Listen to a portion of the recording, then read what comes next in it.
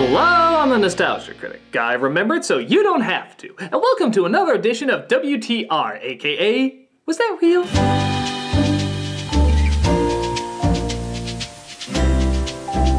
This is where we look at TV shows that may be forgotten by some, but remembered by others for just how strange they were. With that said, have you ever wanted to see a show about cowboys that were actually cows? Of course not! That sounds like the plot to a Happy Meal commercial. But they did it in the Cowboys of Moo Mesa. Up on mesa, above the clouds, there's a world apart. For an idea that sounds like Dead Hamburger on arrival, there was something that strangely drew a lot of kids to it. And it shouldn't. It's an awful idea. They sound like rejected villains from the Ninja Turtle toy lineup. Actually, that's kind of what they were. Their creator, Ryan Brown, was a big part of designing several Ninja Turtle toys. In fact, the Cowboys of Moo Mesa even make a few appearances in other Ninja Turtle projects. Now, chances are it was a similar setup as the Turtles, with the toys being made at the same time as the show, as they rarely looked that much like the original characters. But the strange thing is, I never knew anyone who played with the toys or even admitted to watching the show. It was just kind of a strange thing to confess to. But a lot of kids must have watched it because it got renewed for another season. Granted, that's only two in total, but for a kid show back then, that was still pretty impressive. So why the hell did so many of us watch it when we so easily could just change the channel? Well, first of all, it had a surprisingly badass theme song. I'm usually not a country person, but this song was actually kind of fun.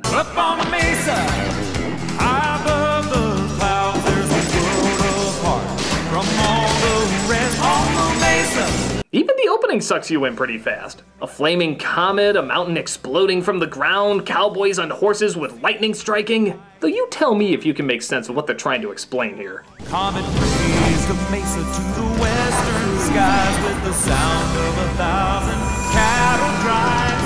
A chosen few would see the light and fight the wrong with right. What the fuck does any of that mean? What the hell does it have to do with bulls on horses? There was a comet at the beginning of time, it crashed into Earth. Fucking cows. Makes sense to me. Maybe this was like the Flying Spaghetti Monster's first draft. Another thing that might grab your attention is the cow in cowboy is actually an abbreviation. For what you may ask? Like it says in the Code of the West. Like it says in the Code of the West. Like it says in the Code of the West. Like it says in the Code of the West. Like it says in the Code of the West. Like it says in the Code of the West. The Code of the West says. The Code of the West says. The Code of the West says. Enough! Okay, apart from this line being repeated as much as with great power comes shut the fuck up we've heard a million times, why the hell do they need an abbreviation for cowboys? They're fucking cows! Isn't that the whole idea? Is the thought that the real cowboys of the West were outlaws and these are lawmen so it wouldn't technically be correct? We're watching a show about fucking cows! Nobody's gonna care about the historical accuracy! As the Code of the West says. Oh, says. shut up! Who the hell even wrote the Code of the West? Is it like the Declaration of Moo Dependence? Is it to separate the cows who ride on horses and the cows who are actually roped and branded? Yeah, there's actual cows and bulls that they herd in a cattle drive. So what the fuck is going on here?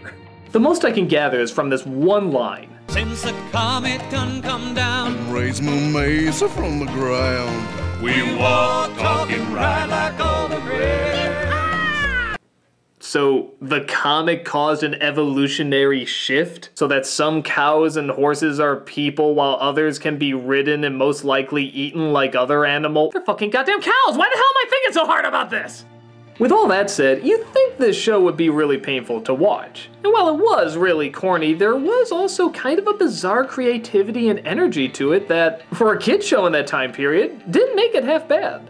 It centers around our lawmen, Moo Montana, the Dakota Dude, and the Colorado Kid. Looking after a town full of other pun names like Lily Bovine, Cody Calf, and Cowlamity Kate. The mayor of the town, Oscar Bulloney, just stick with it, is in cahoots with another villain named Sheriff Terrorbull. Trust me, just stick with it.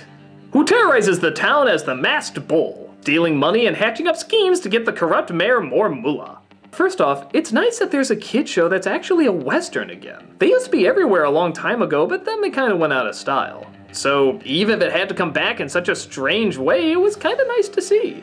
But one of the reasons Western kid shows aren't seen as much is the heroes oftentimes have to use guns, which in PC times is very frowned upon. Their way around it?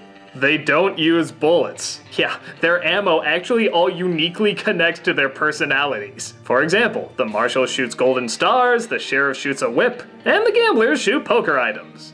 It makes as little sense as anything else, but again, it was kind of creative. But connecting to their personality traits leads to another strength of the show their personalities.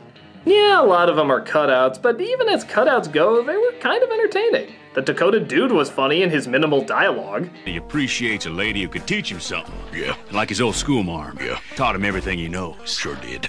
Calamity Kate was a cool cowgirl with a dictionary of weird insults. You spat-hooved, sidewinder, drop-whiskered, stripy pants son of a gun. The mayor was a lot of fun in how politically corrupt he was. Lose something, Calamity? Like maybe uh, everything you own? And even the kid, as kid characters went back then, wasn't really that annoying. A sleeping deputy can't avoid bad dreams. Uh, I'll write that down.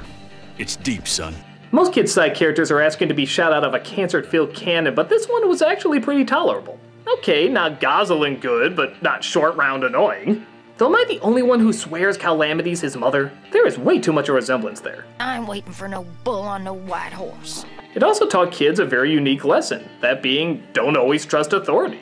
They never got enough evidence to put the sheriff or the mayor away, but they never gave up in stopping their schemes and fighting for what was right. It wasn't anti law, as obviously our heroes are on the side of the law, but it wasn't saying blindly trust your government either. It's kind of rare you see a show for little kids that says don't always trust the law. I actually kind of admire it for that. There's a lot of action, a lot of jokes, a lot of good voice acting. Did somebody say Tim Curry? And who is this lovely mademoiselle whose beauty makes the sun's rays pale? For a lighthearted bit of fun, it was exactly that a bit of fun. Looks like they might hit ground in moist grass meadow, don't it? No. Cactus Canyon. So, if the show was surprisingly kind of decent, how come we lost interest in only two seasons?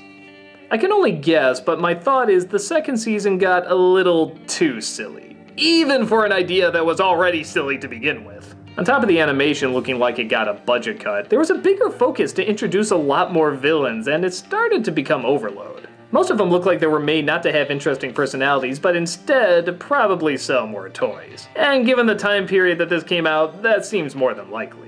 But for the first season, this was actually an okay show. Uh, again, for kids, there's not too much in it for the parents. Imagine something not quite as good as the Disney afternoon, but kind of in the same vein. It's cute, innocent, and didn't seem half assed. They tried to make the best with what seems like a limiting idea, and for what we got, it was kind of entertaining. Okay, I'm not gonna demand it return to TV or anything, but it was a fun, if not strange, little show that left a fond mark on our memories. It's definitely worth getting roped into. On Moo Mesa, standing up for law and order, and living by the code of the West. On Moo Mesa. Plus, it made for a very entertaining arcade game called The Simpsons. Oh, come on! Die in a dream? I'm the nostalgia critic. I remember it, so you don't have to. That part never made sense to me. Marshall Moo would be furious.